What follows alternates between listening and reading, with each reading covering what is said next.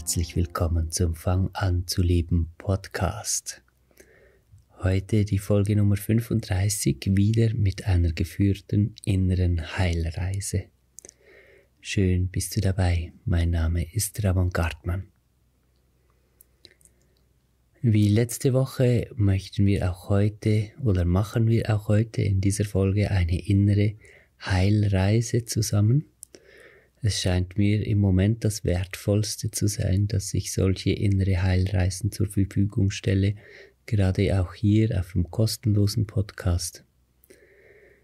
Weil diese Art von Heilung etwas ist, was einfach für alle und jeden zur Verfügung stehen sollte. Die Erfolge, die ich miterleben darf, von dem, was geschieht, wenn ich mit den Menschen so arbeite, das ist so unglaublich, unglaublich schön und einfach, ja, es erfüllt mich mit ganz, ganz, ganz, ganz tiefer Dankbarkeit.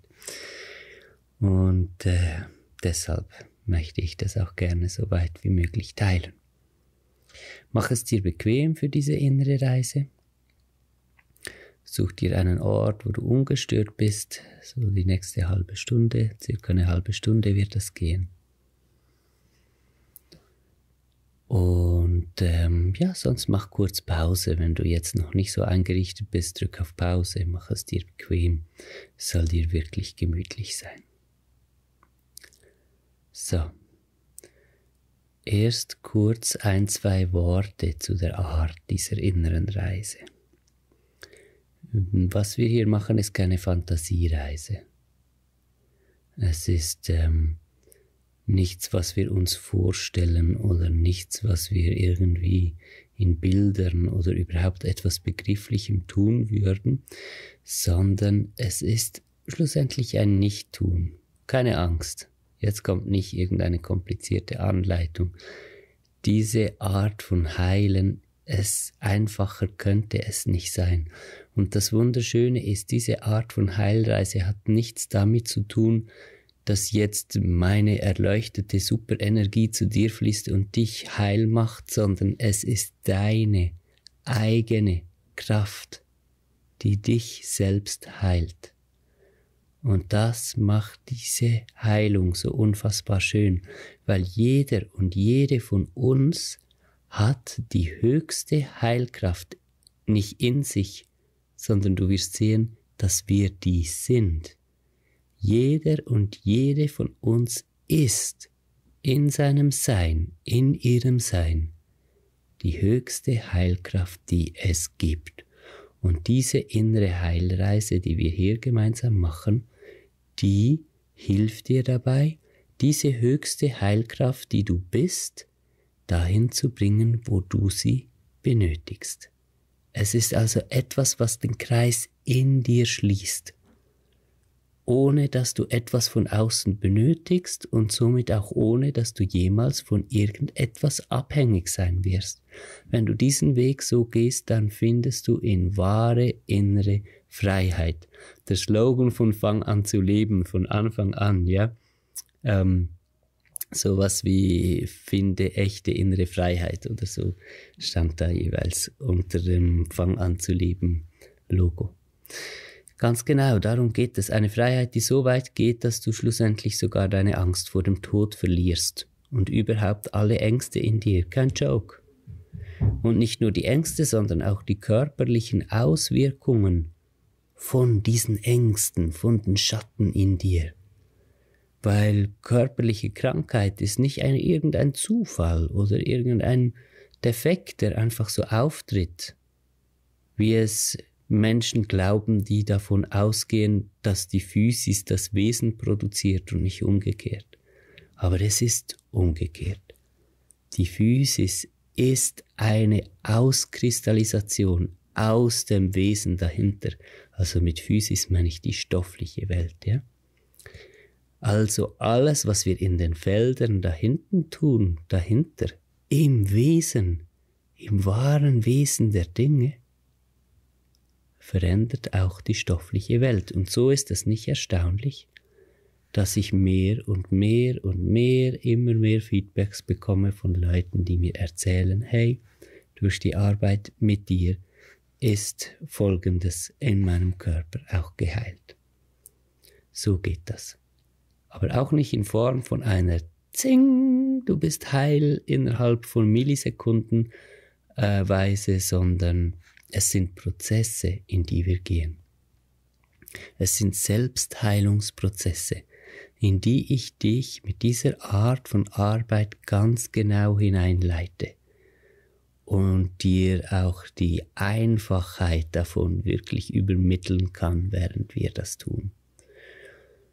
Und äh, vielleicht hast du heute eine innere Reise, die der totale Durchbruch ist und du merkst, oh mein Gott, jetzt habe ich gerade eine Last verloren, die mich schon Jahrzehnte quält. Und äh, du merkst, oh mein Gott, das, ich kann schon spüren, wie sich äh, mein rheumatisches Knie sofort anfängt zu verändern und, und ich kann merken, äh, schon gleich nach der Meditation, dass da nicht mehr so Schmerzen sind und sowas. Das ist völlig im Rahmen des Möglichen. Es kann aber auch sein, dass du das Gefühl hast, hm, das war ganz interessant. Ich habe gemerkt, dass tatsächlich etwas in mir geschieht, aber das war mehr wie ein erstes Anklopfen an der Thematik, die ich lösen muss. Und beides ist gleichwertig. Klar lieben wir diese Schlüsselmomente, wo der große Durchbruch kommt, aber diese Schlüsselmomente sind in sich nicht die allein waren, sondern jeder Schritt darauf hin war genauso wichtig und ist genauso wichtig wie der Moment, wo dann etwas Großartiges passiert und wir halt sozusagen von einer Minute auf die nächste einfach frei werden von etwas, was uns schon ein Leben lang belastet hat. Was ich damit sagen möchte ist, lerne ein gesundes Maß an Geduld. So wie es, und ich weiß, das sage ich immer und täglich und in jeder Meditation, aber es ist einfach so schön der Vergleich, wie es ein Gärtner oder eine Gärtnerin in seinem, ihrem Garten tut. Das hier, der Ort, in dem wir zusammen arbeiten, das ist ein innerer Garten. Und durch diese Arbeit, die wir machen, pflegst du diesen inneren Garten. Dadurch wird er gesund, dadurch wird er blühen, dadurch wird er Früchte tragen. In seinem Tempo, in seinem Flow. Alles, was du dazu beiträgst, ist Liebe. Liebevolle Aufmerksamkeit, göttliche Präsenz, einfach hier sein. Und der Rest geschieht. So. Und jetzt möchten wir uns ohne weitere große Worte an die Arbeit machen. Während der ganzen inneren Reise wirst du nie den Bezug zur Wirklichkeit verlieren, wie, du, wie du sie dir gewohnt bist. Du wirst immer du sein. Es ist äh, alles eine sehr entspannte Sache. Vielleicht gibt es mal was, was dich aufbringt, was dich nervös macht oder aufgeregt, aber keine Angst, wenn sowas mal kommen würde dann ist das temporär. Du wirst feststellen, wie sich das wieder legt und du wirst dich immer in einem geborgenen Rahmen befinden. Dafür sorgt die Art der Arbeit, die Art, wie ich dich hier hineinleite und die natürlichen Umstände, die wir dann nutzen können für diese Heilarbeit. Schließe nun deine Augen, werde einen Moment ruhig Atme ganz tief durch.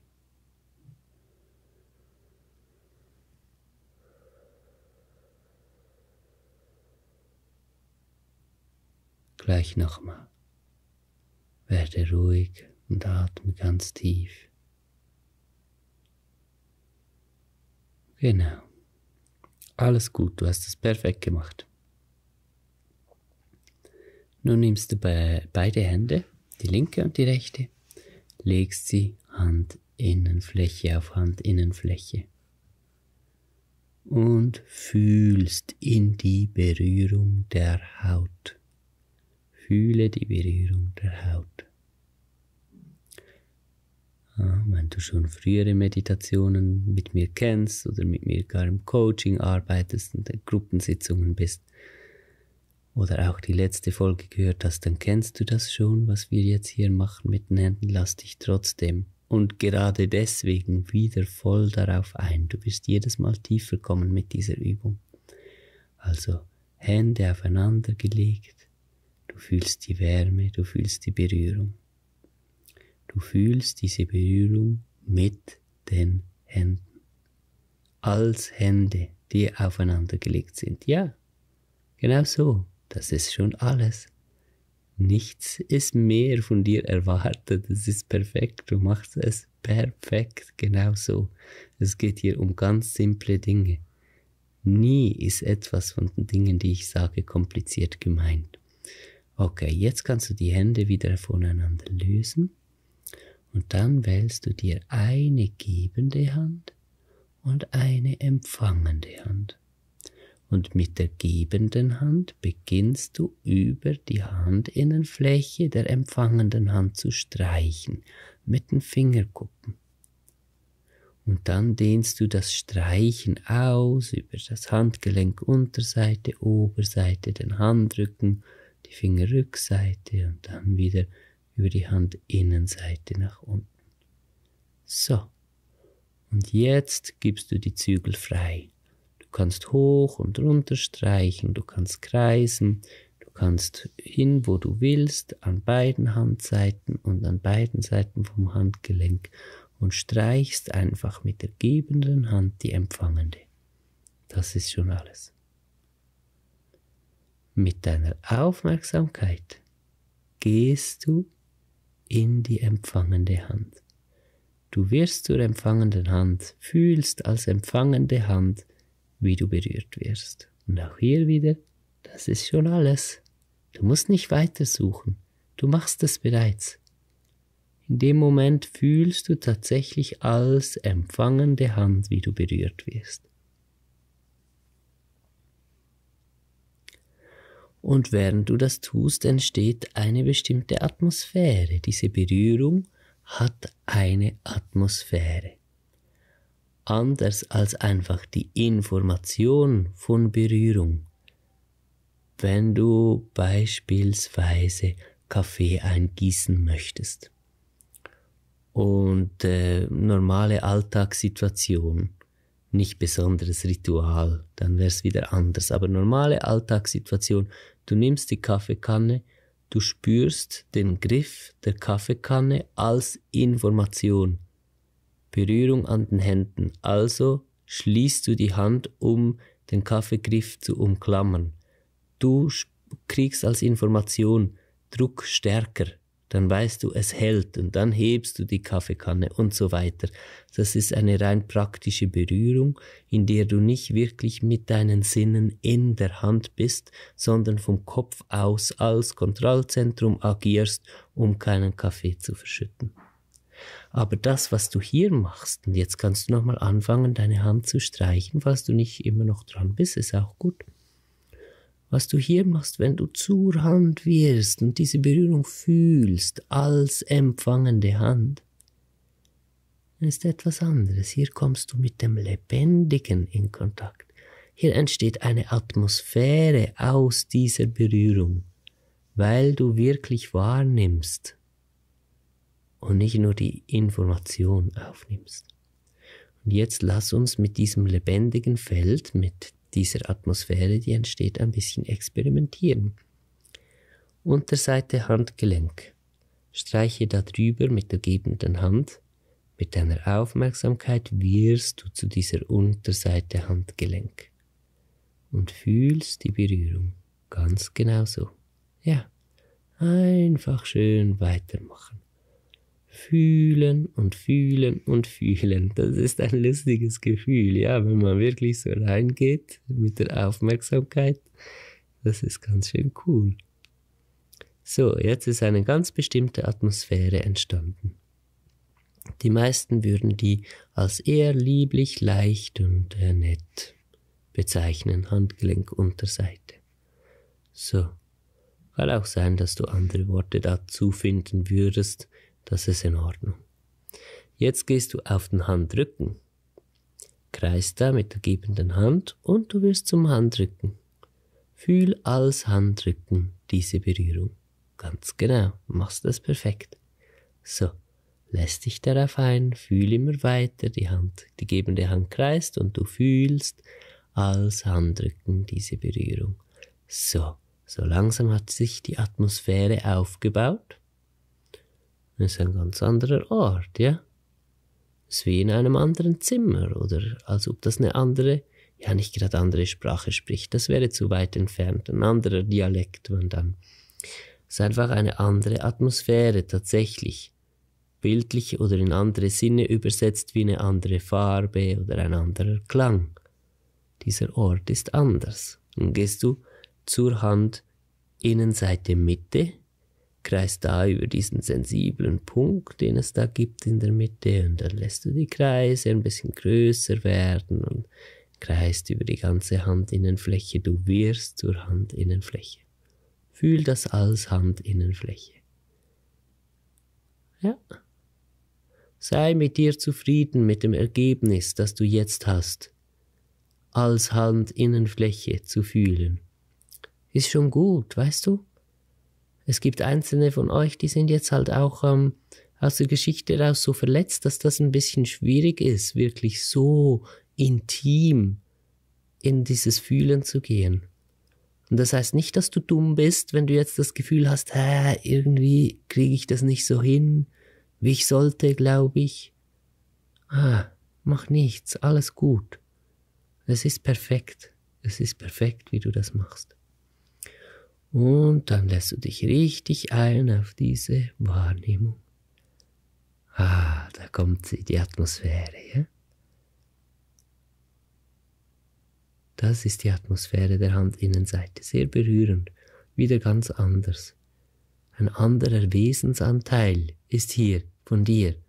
Was du jetzt nämlich wahrnimmst, dass diese Atmosphären kommen, ist nicht mehr die reine stoffliche Berührung der Hand und die Übertragung über Nervenbahnen bis ins Hirn und das Bild, das dann entsteht von Info und so, sondern das hier ist wirklich Kontakt mit dem lebendigen Feld dahinter.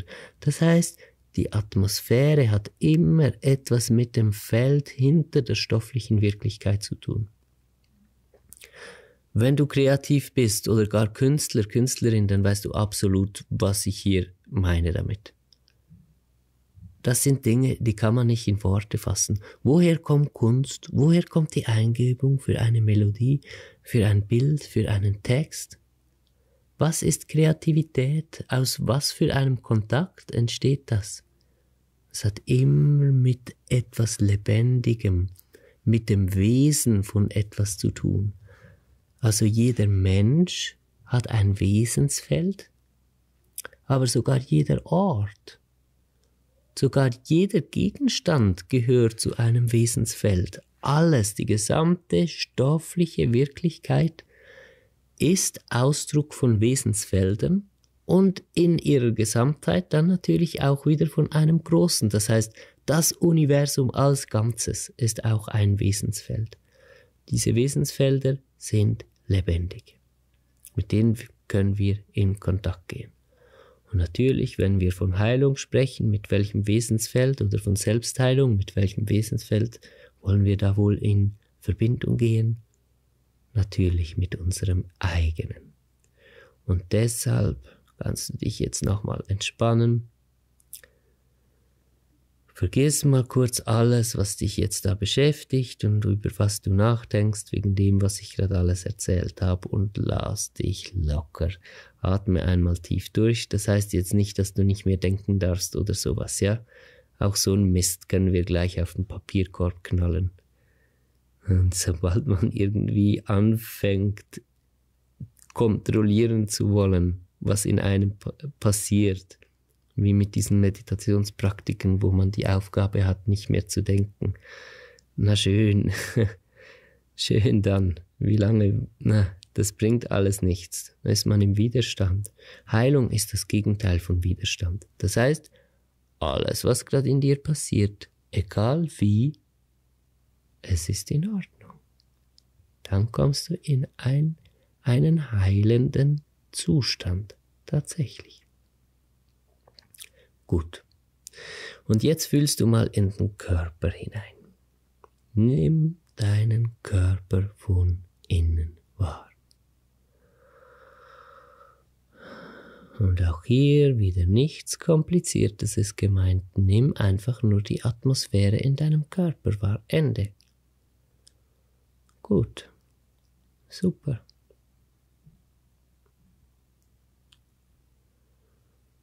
In der letzten inneren Reise hier im Podcast vom letzten Sonntag haben wir uns dem Magen gewidmet.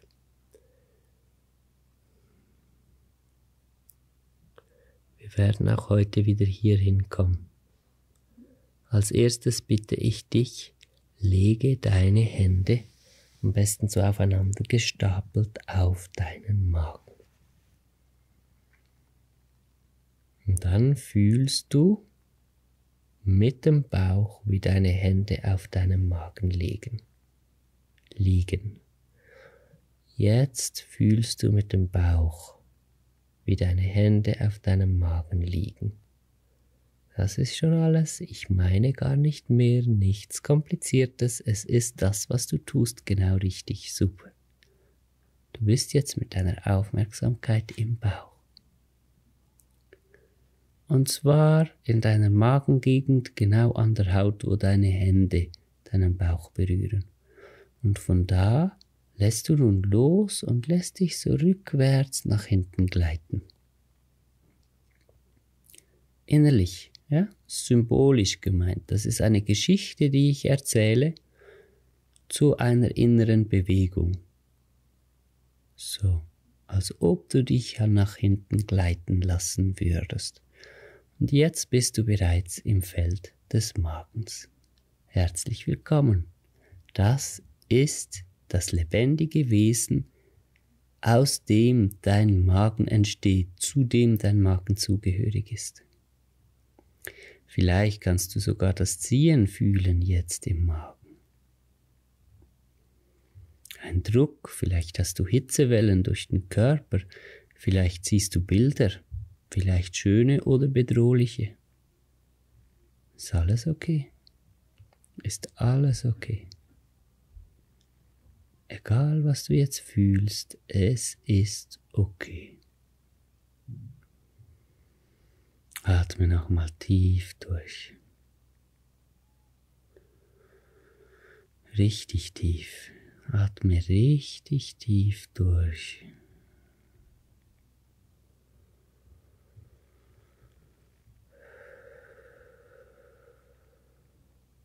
Ganz genau. Weißt du, du hast hier Teile, Anteile von dir in deinem Magen. Da geht es dir fürchterlich. Du wirst das wahrscheinlich jetzt merken, dass da sowas ist in dir. Oder zumindest erahnen, erahnen, dass ich da eine Wahrheit ausspreche, wenn ich sage, es gibt hier etwas, wo du dich fürchterlich fühlst in diesem Feld.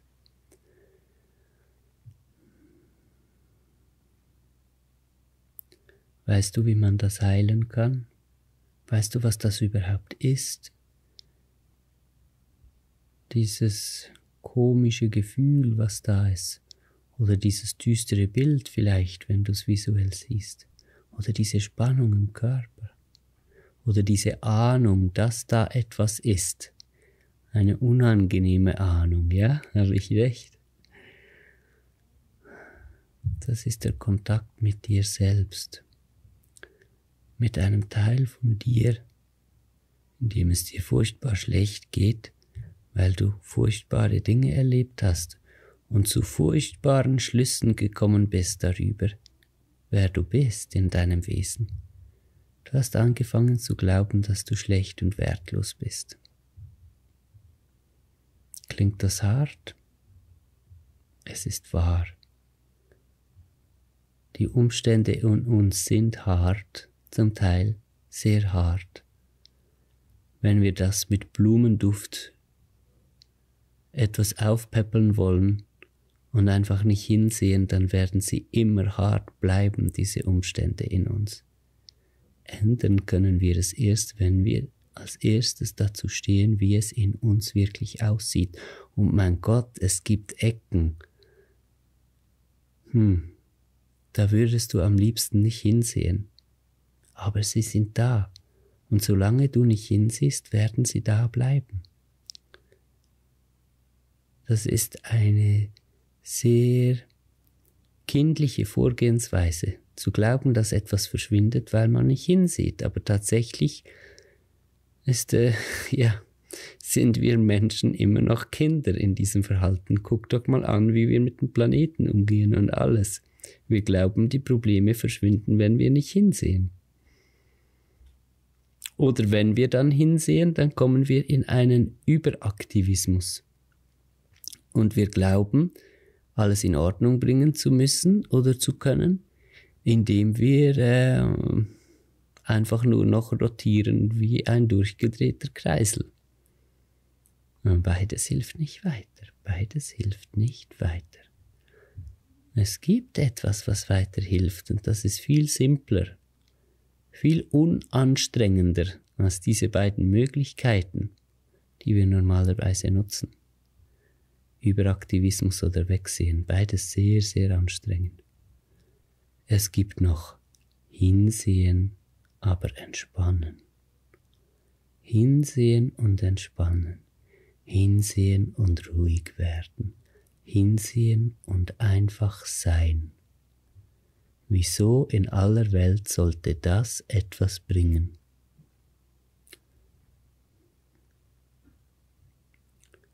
Es hat damit zu tun, was du bist.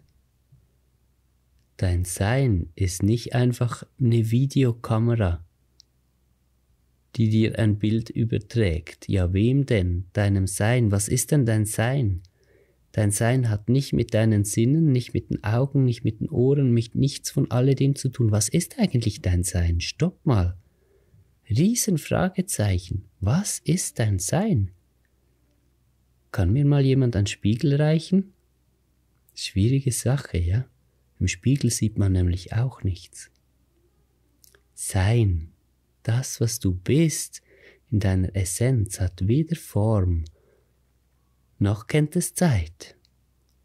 Form und Zeit ist nicht auf dieser Seite deines Seins zu suchen, also nicht auf der wahrnehmenden Seite. Warum ich das weiß?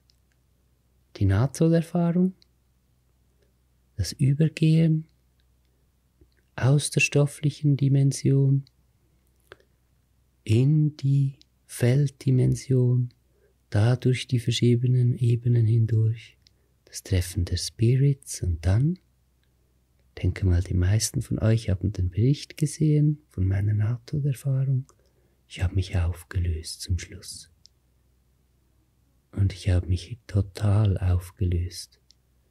Und war ich dann nichts mehr? Nein, im Gegenteil. Ich war die absolut schönste Sache, die man sich vorstellen kann. Ich war reine Liebe, reine Göttlichkeit, reines Licht, aber darüber hätte ich mir keine Gedanken machen können. Wie denn? Es gab ja nichts, womit ich das vergleichen konnte, es gab ja keine Form, keine Zeit. Es war der ewige Augenblick.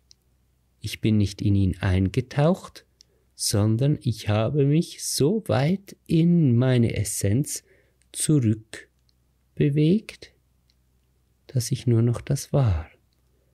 Das, was ich schon immer war und immer sein werde. Das, was du schon immer warst und immer sein wirst. Das, was wir alle schon immer waren und immer sein werden die höchste Göttlichkeit, Liebe und Licht. Ich habe das nicht im ersten Moment begriffen, auch nicht nach zehn und auch nicht nach zwanzig Jahren. Ich habe fast 30 Jahre gebraucht, um das so richtig zu begreifen. Dass ich nicht zu Hause, nach Hause zu Gott oder sowas gegangen bin, sondern dass ich einfach ganz und gar ich selbst geworden bin. Dass ich Gott bin. dass jeder von uns und alles, was ist, Gott ist. Das Sein, das ist Gott. Wir haben also zwei, hm, wir bestehen aus zwei Teilen, die eigentlich dasselbe sind. Ein Teil ist der Betrachtende und ein Teil ist das, was wir betrachten. Als betrachtender Teil sind wir immer ohne Form und deshalb bleibt uns hier das Göttliche und die vollendete Liebe immer erhalten. Das, was wir betrachten, das hat Form. Das heißt, wir kommen ins Leben, wir erleben, wie mit uns umgegangen wird, wir ähm, ja, machen unsere Erfahrungen und beginnen zu interpretieren, was wir sind. Das heißt, wir haben so etwas wie eine Fläche, auf die wir gucken, in der wir hm, kreieren können, in der wir Vorstellungen über uns tatsächlich kreieren können und in der wir die Möglichkeit haben, von falschen Vorstellungen immer mehr zur Wahrheit über uns hinzukommen. Das ist eine absolut abgefahrene Sache, dass das Leben so ist und ich habe nicht die geringste Ahnung, wie das möglich ist. Glücklicherweise ist das für den Erfolg von Selbstheilung auch nicht tragend. Auch wenn wir nicht wissen, warum die Welt so aufgebaut ist, wir wissen das. Und das reicht auch schon. Also das höchste Göttliche, die reine Liebe, guckt auf diese Projektionsfläche und erlebt Dinge. Nun hast du vielleicht erlebt, wie deine Mutter sehr gelitten hat darunter, dass du ankommst auf dieser Welt, dass die Mutter wird oder je nachdem wieder Mutter wird. Das ist eine Möglichkeit, eine sehr gut verständliche Möglichkeit, wie so etwas geschehen kann, dass wir dann so dunkle Seiten in uns sehen. Deine Mutter äh, hat gelitten Sie war auch hin und her gerissen. Einerseits hat sie Liebe gespürt für dich, aber andererseits auch tiefe Abneigung, weil du für den Mann beispielsweise gestanden bist, den sie eben nicht mehr in ihrem Leben haben wollte oder vielleicht sogar gar nie in ihrem Leben haben wollte. Du standest für äh, die Schwere von einer Situation, die nun noch weniger leicht aufzulösen wäre für dein Leben, das sie sich nicht gewählt hat. Irgendwas in diese Richtung. Wie hast du wohl da hm, deine Projektionsfläche gefühlt, dein Ausmalbuch über dich selbst? Was für eine Farbe hast du da gekriegt? Blutrot? Kohlenschwarz? Weißt du, wie ich meine? Und was für eine Ausstrahlung hat da dein Wesen bekommen? Weil dieses Ausmalbuch, wie ich es scherzhaft nenne hier, das ist mehr als einfach nur eine leblose Fläche. Was wir hier zeichnen, das lebt, das beeinflusst uns, das ist unser Wesen. Das heißt, wir gestalten tatsächlich aus unserem göttlichen Selbst heraus unser Wesen, aufgrund von dem, was wir erleben.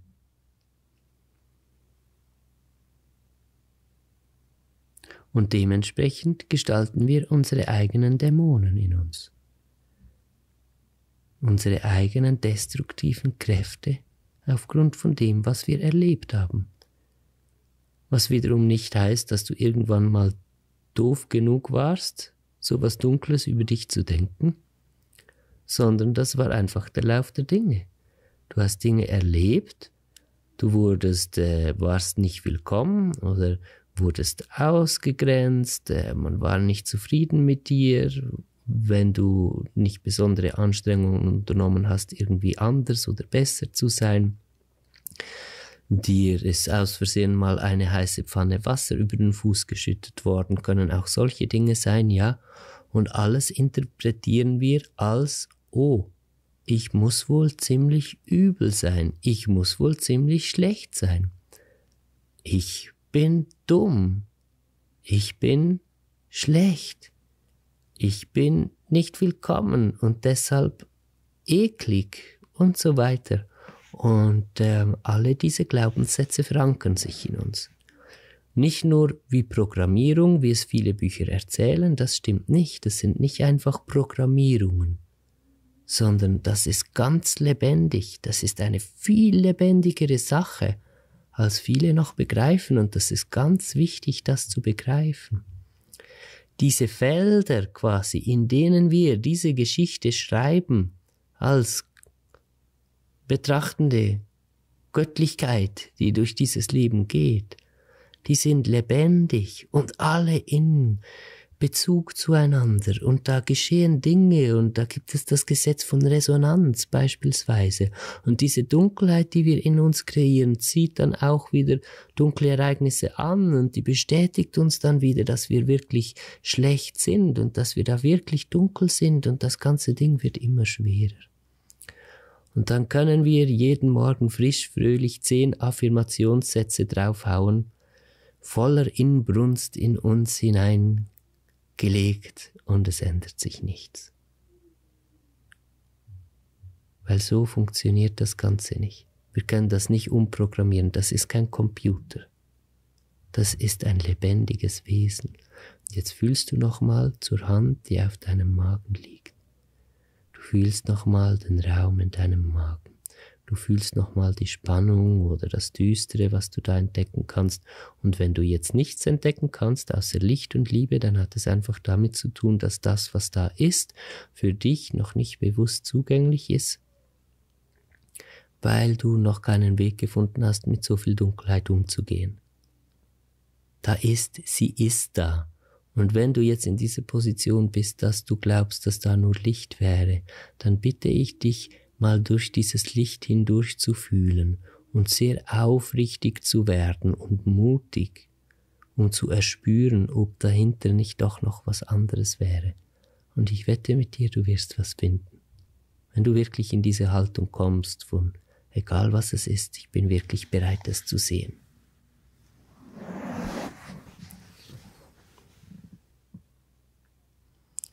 So. Wie ändern wir das Ganze jetzt?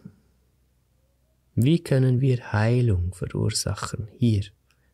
Oder zulassen, muss man besser sagen, weil Heilung ist etwas Natürliches. Durch Sein. Durch Anerkennen, in Kontakt gehen und Sein. Das heißt, du erkennst an, dass hier Spannungen, dass hier Dunkles in dir ist. Ganz klar, du bist ja in Kontakt damit. Also du spürst es ja und dadurch gehst du auch in Kontakt. Du machst dich entspannt, du bist einverstanden damit. Du lässt dich berühren, das ist jetzt nur beschreibend. Das heißt nicht, dass du jetzt etwas anderes tun musst, als du eh gerade schon tust. Aber du lässt dich wirklich berühren in dem Moment und du kannst es nachfühlen, was ich meine. Du lässt dich wirklich berühren von deinen Schattenseiten. Und deine Schattenseiten werden berührt von dir. Sie werden berührt von deinem Sein und das heißt von der höchsten Göttlichkeit und von Liebe. Das heißt, in dem Moment berührt sich das Wahrnehmende und die Projektionsfläche, in der diese Art von Leben entsteht, wie wir sie leben. Und da geschieht ein Wunder, weil jetzt berührt die reine Göttlichkeit direkt das Feld, in dem das Leben innerlich und äußerlich, das Leben im Außen, also das, was wir betrachten können, entsteht. Und dann entsteht Heilung, weil das Feld dann erfüllt wird von der Wahrheit über dein Sein.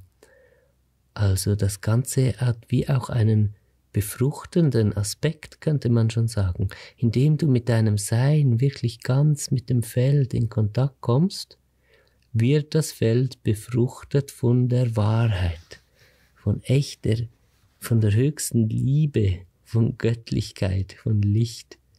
Verstehst du, wie ich das meine? Kannst du das spüren in dir? Ich denke ja. In dem Moment geschieht das.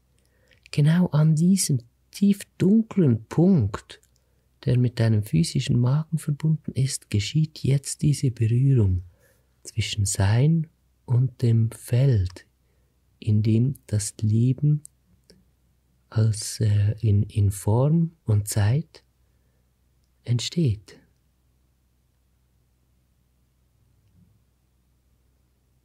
Ganz ruhig, es ist alles gut. Es ist alles gut, du machst es perfekt. Jetzt kommt eben dieser nächste Aspekt dazu, von Geduld wie ein Gärtner oder eine Gärtnerin. Du hast in diesem Moment gepflanzt. Du hast gepflanzt und gewässert.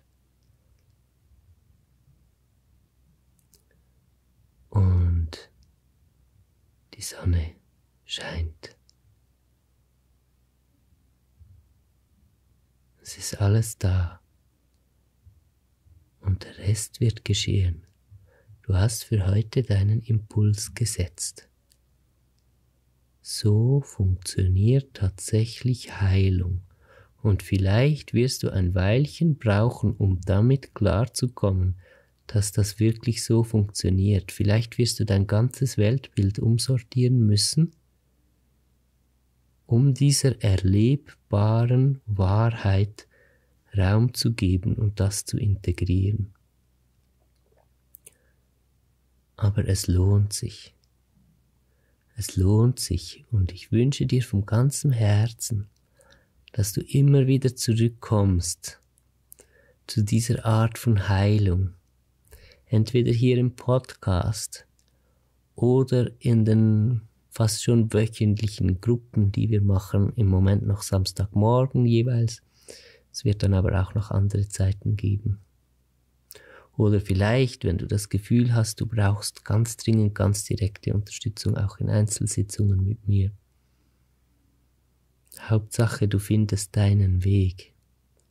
Du findest deinen Weg, immer wieder hierher zurückzukommen und ich kann dir versichern, mit dem Setzen von diesen Impulsen auf diese Art, wie wir es jetzt hier gemacht haben, in dieser inneren Reise, wird sich dein Leben grundlegend verändern. Diese Felder, von denen die Physik spricht, auch tatsächlich, die heißen ja Felder in der Physik, das ist dein Garten in dir. Schau mal, er ist verwahrlost es hat äh, schmerzhafte Unkräuter sind hier gewachsen. Schwarze, aggressive Ranken, aber keine Angst. Keine Angst. Du wirst niemals damit kämpfen müssen, weil deine Wahrheit, die Wahrheit über dein Sein, wenn dein Sein hier hinkommt und diesen Boden befruchtet, das ist stärker als alle Vorstellung weil jede schwarze Ranke und alles Traurige und Böse in dir ist nur aus einer Vorstellung entstanden. Ist eine Illusion tatsächlich, aber eine wirksame, weil diese Illusion in diesem Feld wirklich wirkt. Aber wenn hier die Wahrheit diesen Boden befruchtet, dann hat die Illusion keine Chance mehr. Und zum guten Glück macht das nicht zack und alles ist weg. Und du hast in einem völligen Schock die Wahrheit in dieses Feld hineingebracht, sondern dieses Feld verhält sich eben auch wie ein Garten, wie ein Boden, der bepflanzt wird und ganz langsam ändert sich das durch alle Impulse, die du setzt.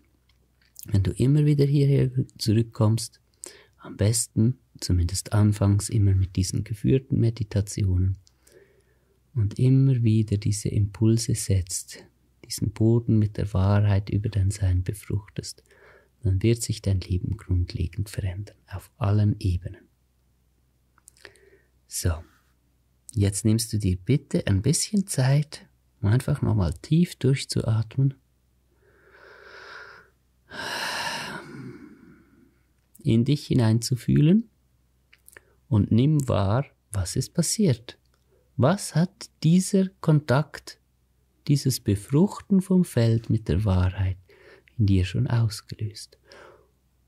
Und ich kann dir sagen, das wird weitergehen. Vielleicht spürst du dieses Wuseln, diese Aktivität in dir, das breitet sich aus. Und beobachte das weiter. Das wird die nächsten Tage und Nächte wird das weitergehen und du kannst das immer beobachten. Und dadurch kommst du wirklich in einen Bezug zu deinem inneren Garten. Dann kannst du dich bitte bedanken in dir für das, was du hier erleben durftest.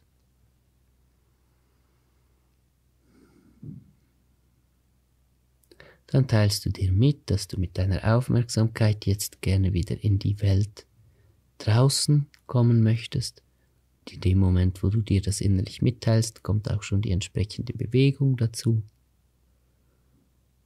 Und wenn dann der Moment gekommen ist, wo du deine Augen öffnen möchtest, dann tust du das. Es war mir eine Ehre, diese innere Reise mit dir zusammen zu machen. Wie schön, dass du dich auf den Weg gemacht hast, die Wahrheit über dein Sein über dein Wesen zu erkennen. Wie schön, dass wir gemeinsam auf diesem wunder, wunderschönen Weg und in diesem großen Abenteuerleben sind. Ich freue mich auf nächste Woche. Alles Liebe, dein Ramon.